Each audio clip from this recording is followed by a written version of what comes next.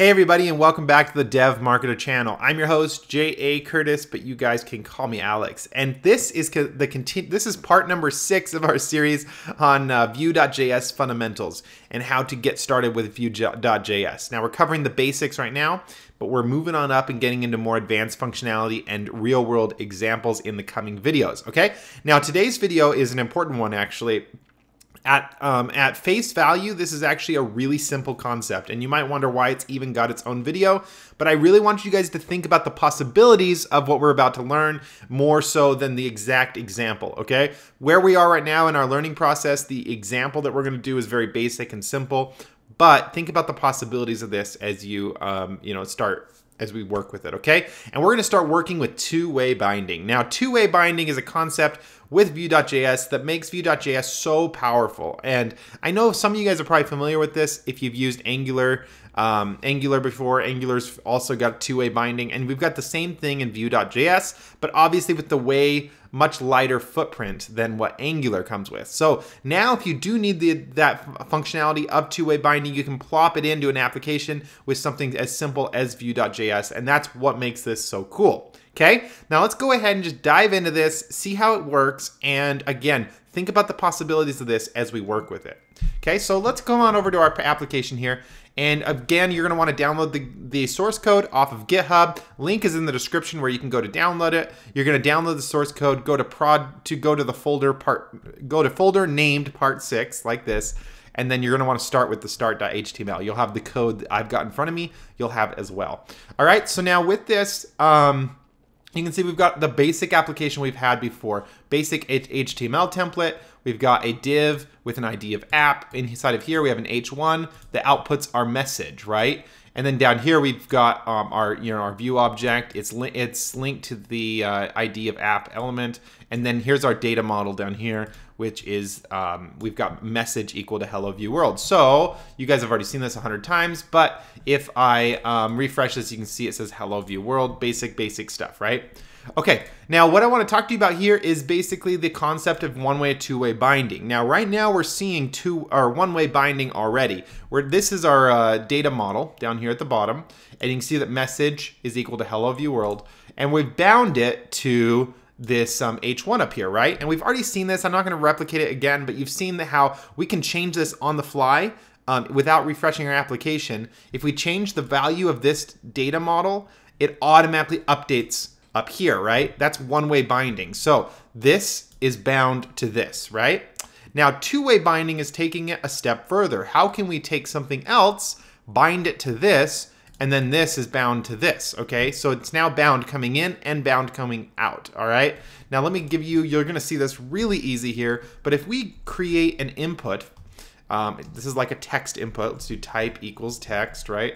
And um, then we can go ahead and um, let's go ahead and create add another directive called v-model. Now you're already familiar with directives. We've been using them for a little bit. So we know anything with this v dash is a Vue directive, right? Now this is a special Vue directive called model, which basically is saying, hey, take the value of whatever we've got in, um, you know, whenever, wherever we put this v model, whatever HTML element we put it in, we're saying, hey, make this element bound to the model that we input here inside the quotation marks. So we're going to bound it to message, right? So now we're saying that the value of input is bound to the the model message. Now you guys are familiar with Laravel and some other stuff, I'm sure, when we talked about MVC. This is what we call an MVVC framework, um, or sorry, MVVM, not MVVC, MVVM. And what that stands for is model view view model. Um, and so think about the same way we talked about MVC. We've got the model is always the data, right? That's like the persistent data object. And then the view is what's displayed to the user. And then we've got the controller as well. Now that we don't worry too much about the controller in here, but we do have this concept of where we've got the view is what we displayed up here. And then we've got the model, which is right here. And um, of course, these can be broken out into different uh, app, into different files, but they're not in this application because I'm just keeping it simple.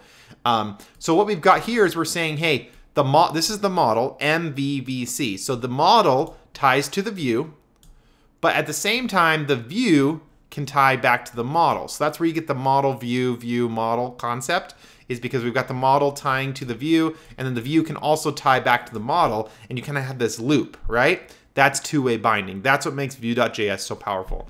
Now let's see what this is all about. Let's go ahead and save this, go into the browser and see how it works. Let's go ahead and refresh.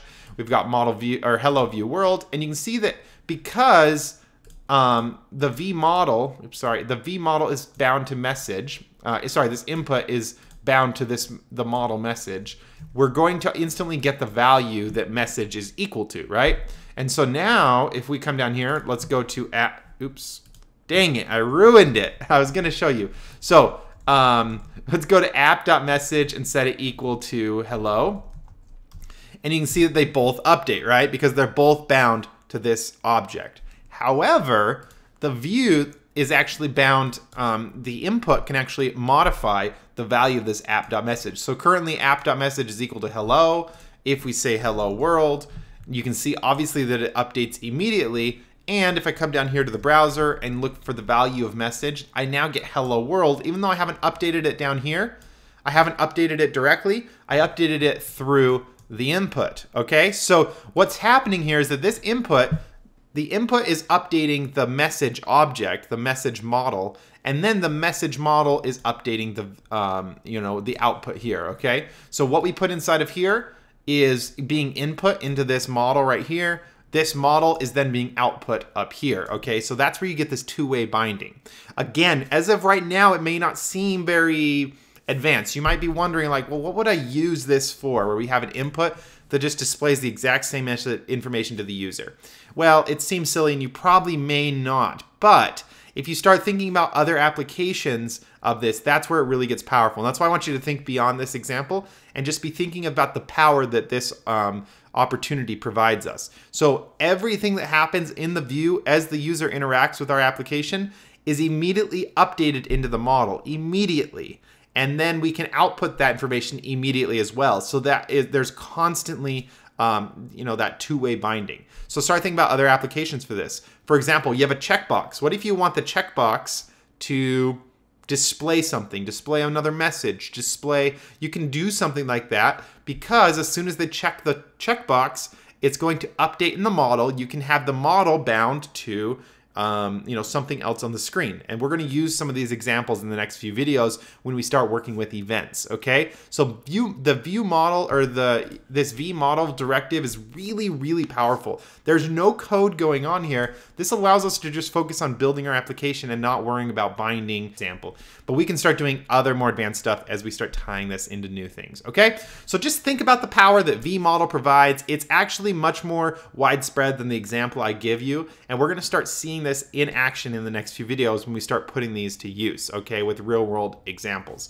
Okay, so that hopefully that was useful for you guys. This is a super powerful concept in Vue.js, and it becomes even more powerful as we start tying it into events and user interaction, which we're gonna learn about in the next video. So stay tuned for that one.